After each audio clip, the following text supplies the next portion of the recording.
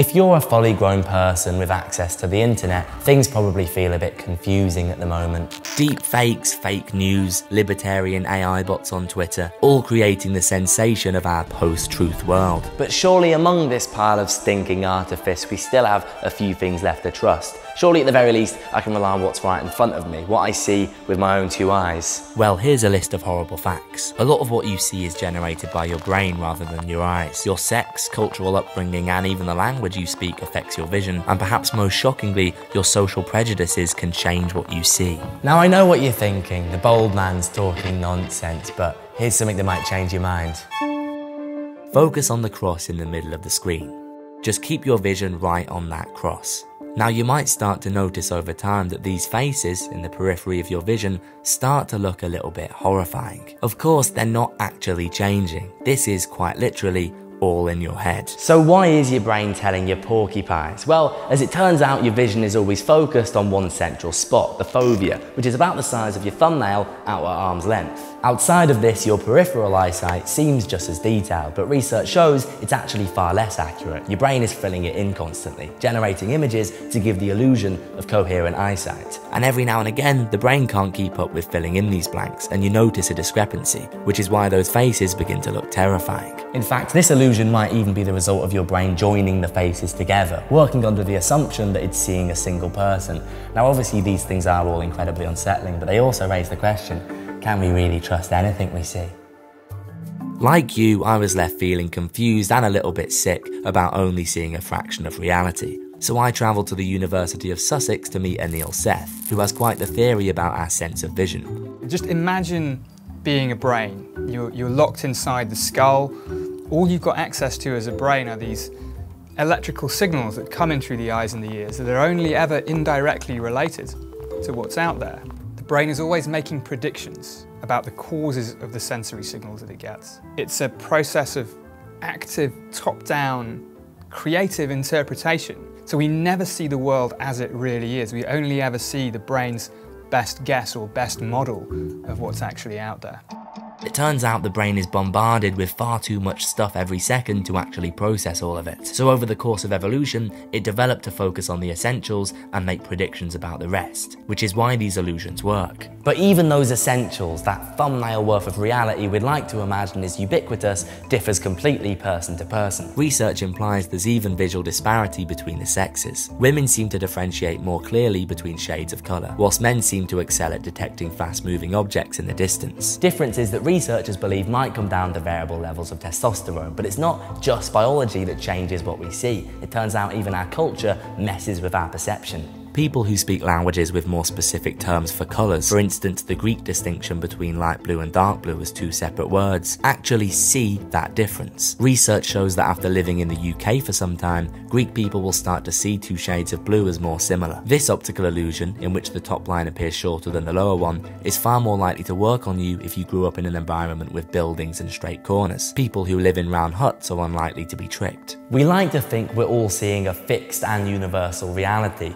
but it turns out the uniqueness of our own minds, our DNA, and our cultural identity all contort our visual perception. In fact, the reality we see is so malleable, we can even flip it on its head.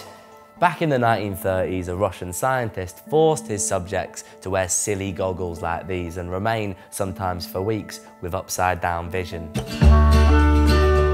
Now, as well as being funny, this experiment was also pretty interesting. You see, the participants' brains were able to adapt shockingly quickly. The upside down world became the norm and thus seemed right side up. Something I'm hoping will also happen for me.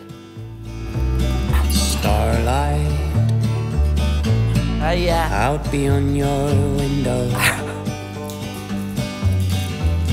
Speaks all Remarkably, the lens in our eye actually casts an upside down image on our retina. But by the time our brains have encoded this image, we perceive the world as upright. And this might be why after some time, these remarkably confused test subjects began to function surprisingly well, with some even able to cycle through a busy city, something I also sort of did. I just don't, uh, I don't have to brake on this thing. all around us.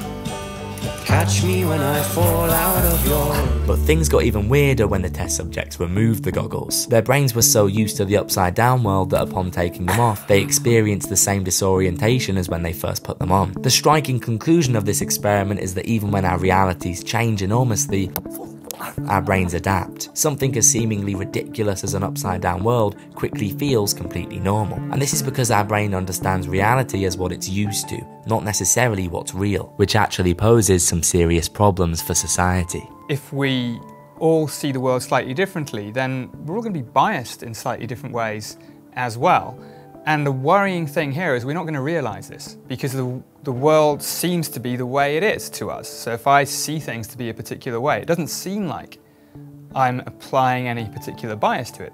As early as the 1950s, scientists showed fans of two football clubs identical footage of a match. They found that the fans perceived moments of foul play entirely differently depending on their club allegiance, disagreeing completely about what they were seeing. Now, obviously, this is shocking, football fans being historically among the most level headed and rational people in society, but studies of European protests showed similar results. Participants in these experiments perceived the actions of police and protesters entirely differently based on their own ages and backgrounds. This all takes us to 2017, when the American Psychological Association unearthed perhaps the most shocking disparity in vision ever discovered. They asked 950 online participants from the United States to look at images of various men and judge the size and potential threat factor of each. Time and time again, these participants perceived black men to be larger and more threatening than equally sized white men. Even something as seemingly obvious and universal as size was totally malleable to people's perception. Horrifyingly, it seems that our social bias and prejudices can actually distort what we see. Other research showed that white female college students perceive black children as less innocent than their white counterparts, and white male police officers had a dehumanization bias against black people, more able to match them up with photos of big cats and apes. Of course, we don't need to look far to see the dangers of this. In the worlds of policing and law, bias this extreme can mean life or death. But if some of that bias is unconscious, entrenched in our human senses,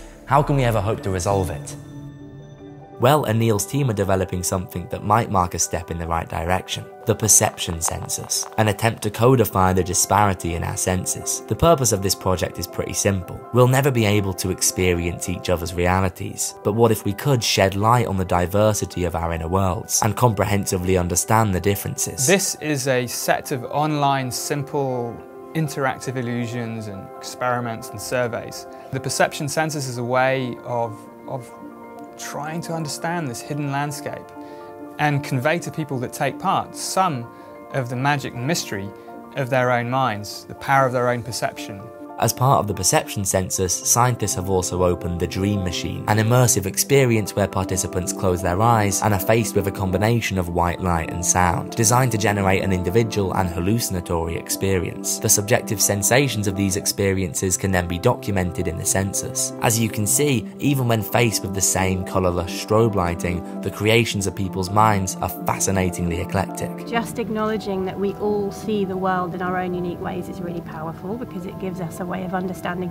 others' perspectives. How did my brain do that? It's a real kind of revelation that you've got that sitting in you all the time. You can do that anytime. It was the most vivid, kaleidoscopic, unimaginable thing. It's, it's really hard to believe that's something your brain's just generating with some strobe lighting.